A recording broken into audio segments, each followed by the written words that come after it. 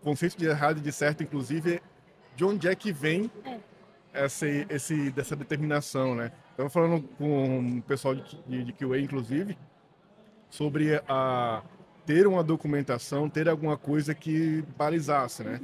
Então, acho que até hoje, se eu não me engano, teve uma vez só que eu trabalhei em algum lugar que teve QA no meio do caminho. E lá no meio do caminho, tipo assim, É.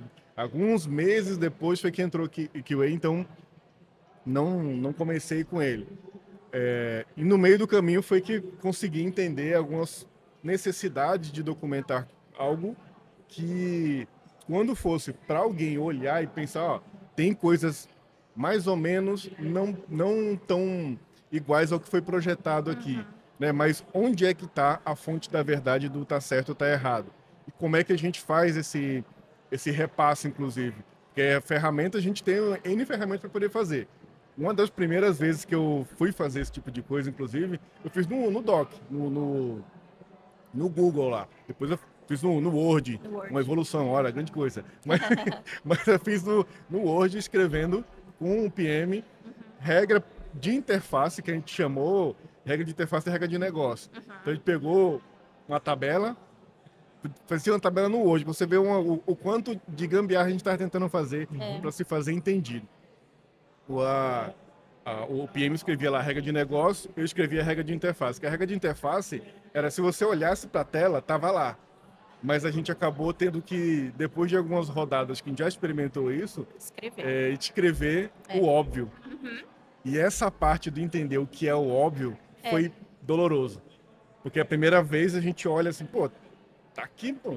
O desenho tá lá. A gente tava usando o Figma já na época ali, Passou então. o mouse rover, tudo. É isso, É, então, tinha a parte de mas- interação, tu podia mexer lá que tava lá.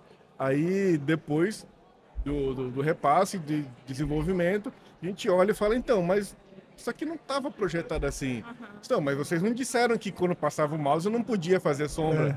Tipo, mas se não estava projetado para fazer, era só não fazer. Teve um passo a mais né, de, de pensar em colocar um rover, pensar em colocar um sombreamento, uma, uma cor diferente. Não, mas se você não falar que não é para fazer, a gente vai admitir que é para fazer. Nossa senhora, e agora? Dá Como um é que nó na cabeça. E agora? eu vou ter que lidar com todos os problemas do que não é para fazer. Eu É. tenho que, tenho que imaginar o que, que a pessoa que vai desenvolver É. pensa no processo de desenvolvimento dele. Eu tenho tempo pra pergunta? Tem tempo pra pergunta? Eu tenho tempo pra pergunta? Tem Tempo para Pergunta, o podcast oficial do TDC.